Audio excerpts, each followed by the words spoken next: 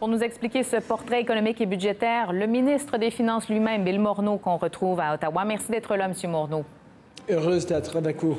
Ça donne quand même le vertige, le déficit que vous avez dévoilé aujourd'hui, 343 milliards de dollars. Euh, comment on explique ça, ce chiffre colossal aux Canadiens?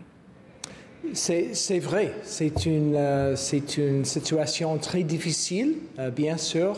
c'est un choc à, notre système économique. Mais la cause, c'est clair, c'est la pandémie. C'est la même situation à travers le monde. Euh, on, a eu un, choix. Euh, le choix était, euh, à mon avis, très, très facile. On, doit avoir un niveau de support pour les Canadiens et les Canadiennes à travers le pays, y compris les Québécoises et les Québécoises parce qu'on est dans une situation très difficile et on doit avoir une, une pont d'ici à la fin de la pandémie. Et ça, c'était notre approche. Euh, c'est 343 milliards, M. Morneau. C'est une photo, c'est une estimation aujourd'hui. Euh, mais vous avez dans votre document aujourd'hui plusieurs scénarios, reprise plus lente, euh, même résurgence du virus. Donc, est-ce que le déficit pourrait être encore plus important dans l'avenir? Ce que nous avons fait, une, une portrait économique, et c'était important de, de dire ce qu'on savent en ce moment, mais en même temps, euh, la situation est, très fluide. Donc, euh, on a expliqué notre situation, on a des prévisions euh, qui sont jusque le fin mars 2021. Et à notre avis, ça, c'est une, une, possibilité. Mais nous ne savons pas en ce moment la situation dans l'automne, dans l'hiver. Euh, la chose importante pour nous est de travailler ensemble avec, euh, avec les gens à travers le pays pour assurer que notre situation économique est, est bonne. Et ça, c'est nécessaire de considérer comment nous pouvons combattre le COVID-19. Ça, c'est la seule façon d'avoir une économie en croissance. Et ça, c'est notre bout. Oui. Et justement, si vous continuez de soutenir l'économie, euh, venir en aide à des, des Canadiens, est-ce qu'il serait possible de prolonger certains programmes d'aide? Est-ce que c'est votre intention? Nous avons expliqué dans le document euh, une continuation de la subvention salariale avec, avec une provision pour, pour euh, ce programme important. Mais en même temps, nous savons que le, PCU, et, ça doit diminuer et en même temps, notre système d'assurance d'emploi doit commencer, recommencer. Donc, les trois programmes euh, doivent travailler ensemble et ça, c'est notre approche. Et euh, on, a, dans nos chiffres la continuation de la subvention salariale pour euh, assurer qu'on va avoir les emplois, on va avoir une, relance sécuritaire de notre économie. Euh, les choses doivent travailler ensemble. Oui, tout le monde s'entend, il fallait faire quelque chose pour venir en aide aux Canadiens, pour relancer l'économie, mais ça fait que le gouvernement s'endette plus de 1000 milliards de dollars de dettes. Est-ce que c'est raisonnable? Est-ce qu'on peut se le permettre? C'est clair qu'il y a un choc. Euh, ça, c'est notre situation. Le, le bonne nouvelle, s'il y a des bonnes nouvelles, est, que le, coût de la dette en ce moment est le plus bas dans l'histoire. Ça veut dire que euh, aujourd'hui, on a un coût de dette, c'est 1% de le PIB.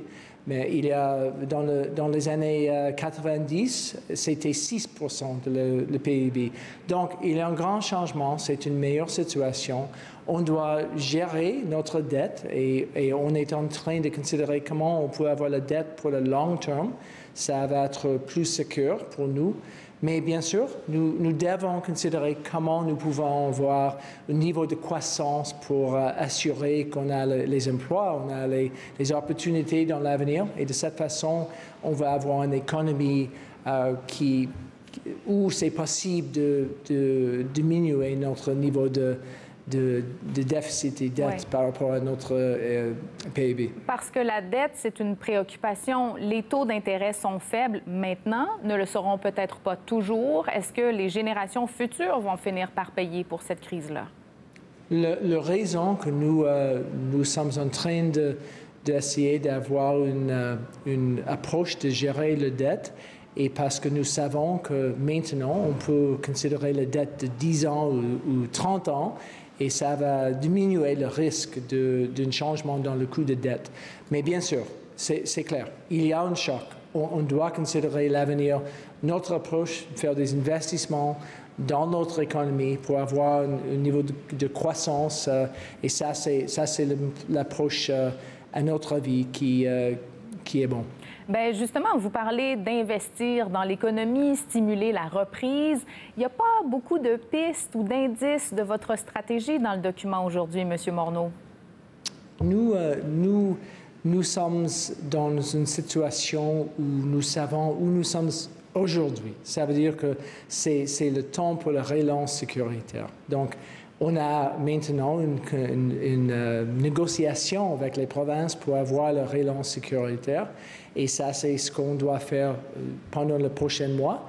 Et de cette façon, avec ça et une, euh, essayer d'assurer que le coronavirus est, moins important, on, peut avoir une, meilleure situation dans l'automne. Donc, chaque, chaque temps, on, va être clair où nous sommes, mais vraiment, euh, c'est difficile à dire ce qu'on doit faire dans l'automne ou l'hiver euh, avec l'information qu'on a en ce moment. Mais tous les gouvernements du monde, M. Morneau, se tournent, c'est une solution classique, vers les infrastructures, par exemple, pour relancer l'économie. Est-ce que ça pourrait être euh, parmi les stratégies de votre gouvernement? Je, dois dire que notre situation euh, avec la pandémie est un peu différente que les, récessions avant. Ça veut dire qu'on a eu une diminution de demande à cause de le, le, clôture de l'économie. Donc ça, c'est une situation très différente qu'avant.